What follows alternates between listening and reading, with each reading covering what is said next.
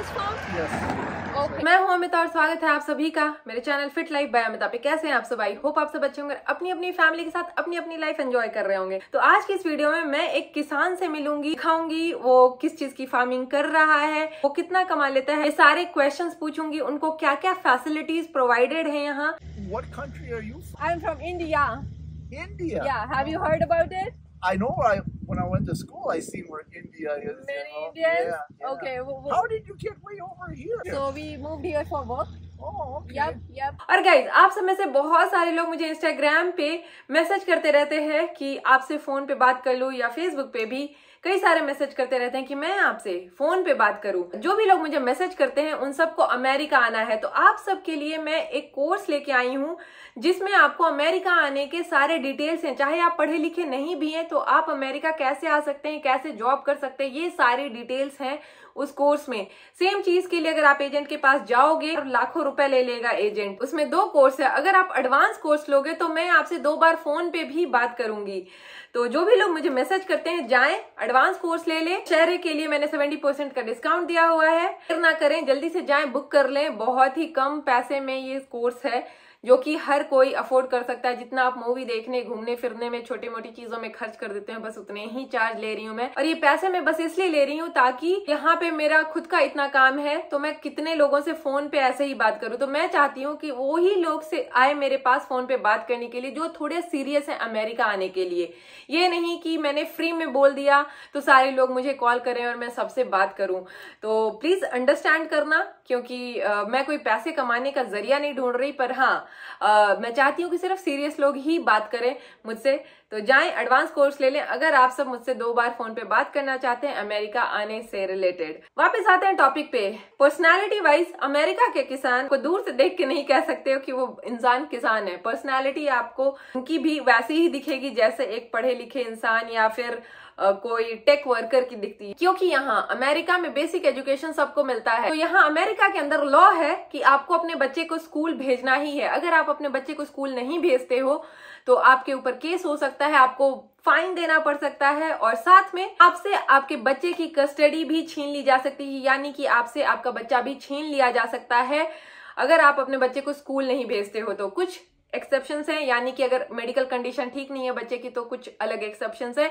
या फिर अगर आप होम स्कूलिंग करा रहे हो बट उसके भी टर्म्स एंड कंडीशन है उसका पूरा करिकुलम होता है या फिर आप ऑनलाइन स्कूलिंग करवा रहे हैं उन्हें स्कूल तक ऑलमोस्ट सारे लोग यहाँ पढ़े रहते हैं। यहाँ के पब्लिक स्कूल्स यानी कि जो गवर्नमेंट स्कूल्स है वो फ्री है। यहाँ के जो किसान है उनको बेसिक एजुकेशन मिली हुई होती है। ट्वेल्थ तक वो पढ़े रहते हैं। Your crops do you grow? Corn Okay. and alfalfa or hay, and we're just harvesting the corn for silage. Just an hour ago, you chopped all these corn. Well, we chopped a good portion of it, you know. Okay. जहाँ मैं गई थी वो बिल्कुल road के किनारे खेत था जहाँ पे वो जो किसान अ, अंकल थे जो जिनसे मैं बात की वो अ, काम कर रहे थे तो मैंने उनसे काफ़ी ज़्यादा बात की क्योंकि ऑडियो बहुत ज़्यादा क्लियर नहीं है और इंग्लिश पता नहीं सबको समझ आया या नहीं तो इसीलिए मैं समझा देती हूँ आप लोगों को कि मेरी क्या क्या बातचीत हुई तो जिनसे मैंने बात की उनका नाम था बॉब और उनका नब्बे एकड़ उनके पास ज़मीन है नब्बे एकड़ Do you own this farm? Okay. How help? Yep. yep. You can't do it all yourself. Right. Yeah. So how many acres do you own? 90. 90 acres. और आपने देखा कि वो एक छोटे से जेसीबी पे बैठे हुए थे। उनके पास 10 से 15 ऐसी बड़ी बड़ी मशीन्स है।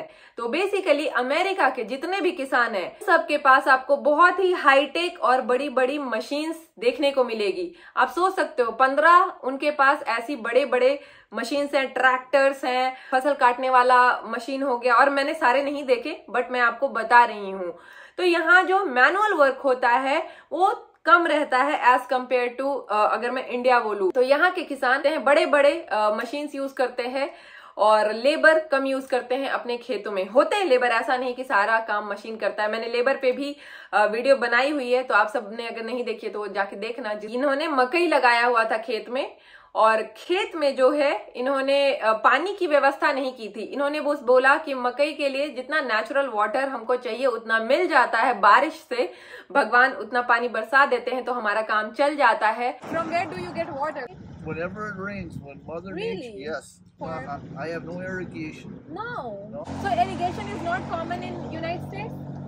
oh, There are there are farmers that do Yes. Okay. ज़्यादातर किसान यहाँ जो जिनके पास ऐसे बड़े बड़े फार्म होते हैं वो डायरेक्ट जो भी चीज़ वो उपजाते हैं फ़सल होती है उसे जाके मिल में देते हैं मिल वाले खरीद के उसकी पैकेजिंग करना या जहाँ पे भी छोटे बाकी सारे जो कमर्शियल स्टोर्स हैं वहाँ पहुंचाते हैं वो मिल वाले It, it, mill. Okay. Okay. yeah. Okay. The stuff gets hauled Okay. into the mill, Okay. and then I sell it to the mill, and then Okay. So you get paid by the mill people. Right. And then they do the packaging and stuff, and then they sell it wherever they want to. they go and, and ship that out on rail Okay. to the Mississippi, and then तो ये लोग direct जाके store में नहीं बेचते खेत से काटने के बाद ज़्यादातर लोग ऐसा ही होता है प्राइस की बात जैसे इन्होंने मकई बोया था तो मैंने पूछा मकई आप कितने में बेचते हो तो बोले कॉमोडिटीज जैसे होता है उसमें अ, जो प्राइसेस होते हैं जैसे अंडा हो गया ये सारी चीज़ें हो गई ऐसे ही फ़सल के भी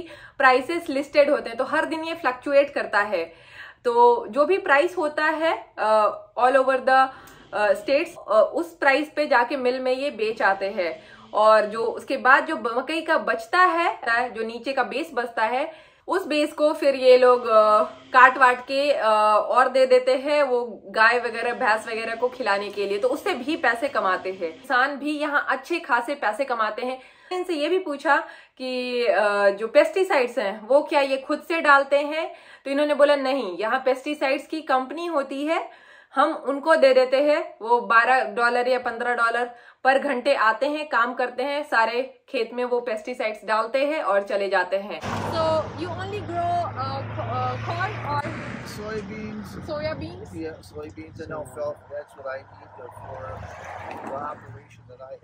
Oh, nice. You must be rich then. I don't know about that. I keep, I keep sticking it back into the land, you know, uh-huh. and the input cost is so high. And that varies, you know. It can be three hundred dollars an acre, फिर मैंने इनसे ये भी पूछा कि America के जो भी किसान होते हैं, उनका एवरेज इनकम क्या होता है? तो अगेन ये तो अगेन ये डिपेंड करता है कि आपके पास कितना खेत है, कितना फार्म है। या डिपेंड करता है कि आप कौन सी फ़सल उपजाते हो ज़्यादा प्राइस वाले फ़सल उपजाते हो, या आप किस स्टेट में रहते हो नेचुरल कंडीशंस क्या हैं? तो एवरेज इनकम की बात करूँ, तीस पैंतीस हज़ार डॉलर से लेके सत्तर पचहत्तर हज़ार डॉलर पर ईयर तक अमेरिका के किसान कमा लेते हैं ऑन एन एवरेज एक साल में। तो अगर मैं इसे इंडियन रुपीज़ में आप लोगों को बताऊँ ऑन एन एवरेज 25 लाख से लेके 55 60 लाख तक अमेरिका के किसान कमा लेते हैं, एक साल में। मेरे को लगता था इनके घर वगैरह देखे कि किसान बहुत अमीर होते हैं मतलब बहुत ज़्यादा, और भी ज़्यादा कमाते हैं। ये भी ज़्यादा ही है बट और भी ज़्यादा कमाते हैं।